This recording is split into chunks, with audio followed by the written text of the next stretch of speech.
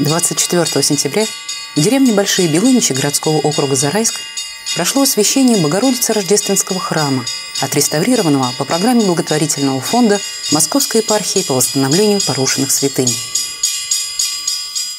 Великое освящение возрожденной святыни совершил митрополит Крутицкий и Коломенский Ювеналий. «Возьмите врата, князи ваша, и возьмитесь врата вечная, увидит царь славы, мир всем». На территории Московской области более 250 храмов, требующих реставрации. Зарайску повезло, и его храмы восстанавливаются силами и делами неравнодушных людей, для кого патриотизм и духовность – смысл жизни. Владыка, благословите сказать сегодня слова благодарности от всех жителей земли Зарайска. Слова благодарности и вам, и всем жертвователям, от всех жителей земли Подмосковья, которые с каждой свою копеечку вносили и вносят в фонд по восстановлению порушенных святынь. Именно благодаря их жертве совершаются такие чудеса, как сегодня. Когда вот этот храм, он стал вновь живым, принося радость и утешение всем тем, кто будет приходить сюда, ища Бога.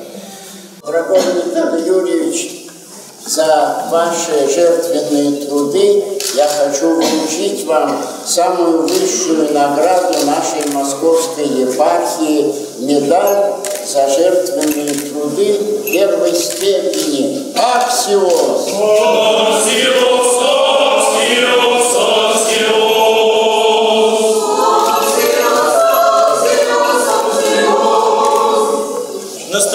Богородицы Рождественского храма, священник Дионисий Путенков награждается благодарственной грамотой. Аксиос!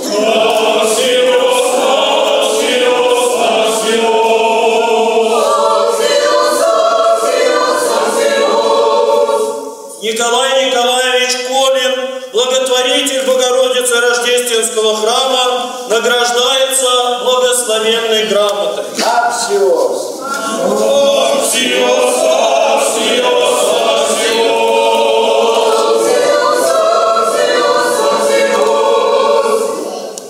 Дорогой владыка митрополит, губернатор Московской области Андрей Юрьевич Воробьев просил меня сегодня быть с вами и передать вам и всем жителям села Большие Белыничи нашего замечательного города Зарайска свои слова. Дорогой владыка Ювеналий, примите самые теплые поздравления по случаю великого освящения Богородицы Рождественского храма.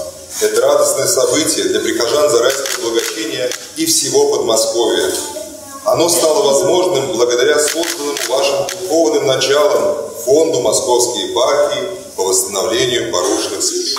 Уверен, что этот центром церковной жизни и украшением не только Больших Белынич, но и всего Зарайска. Желаю вам, дорогой владыка, сил для продолжения высокого пасторского служения, а всем прихожанам Зарайска успеха в добрых делах. Воробьев. Сегодня деревня Большие Белыничи наконец-то увидела свет этого белого, прекрасно украшенного, великолепного храма, который долгие годы находился в поругании. И вашими трудами, дорогой Владыка, сегодня вашими помощниками и благотворителями, вашим благословением этот храм возродился из пепла.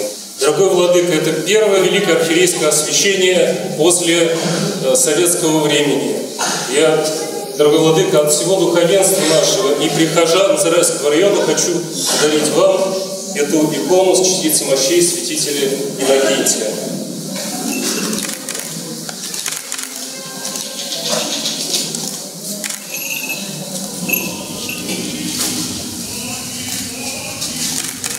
Самые ранние упоминания о существовании храма относятся к 1597 году. Он горел, менял облик от деревянного до каменного, но жил, встречая своих прихожан. В 30-х годах 20 века церковь закрыли. В помещении храма устроили склад, разрушив верхние ярусы колокольни, кровлю, трапезной и алтаря. С тех пор храм пребывал в изуродованном виде.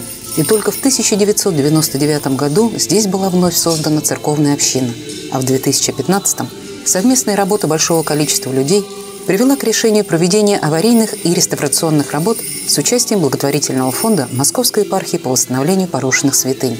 Сопредседателями попечительского совета являются губернатор Московской области Андрей Воробьев и митрополит Крутицкий и Коломенский Ювеналий, чье участие в духовной жизни зарайцев не заметить невозможно. Много храмов на подмосковной земле, которые хоть и имеют своего настоятеля, хоть и имеют свою общину, верующие люди, которые приходят, молятся, совершают какие-то молебны, панихиды, богослужения, но не имеют сил и материальных возможностей для того, чтобы восстановить храм своими силами. И вот благотворительный фонд как раз служит помощью для таких храмов, которые сами не могут восстановить его. И вот тогда они подают священники заявку в благотворительный фонд, владыка благословляет заявку и начинаются реставрационные работы. Изготавливается проект реставрации, выбирается подрядчик, который осуществляет реставрационные работы. И вот сегодняшний день, это можно светским языком сказать, сдача объекта, великое освящение храма, когда храм в целости, в восстановленном состоянии первозданном передается религиозной организации для совершения богослужения, для молитвы.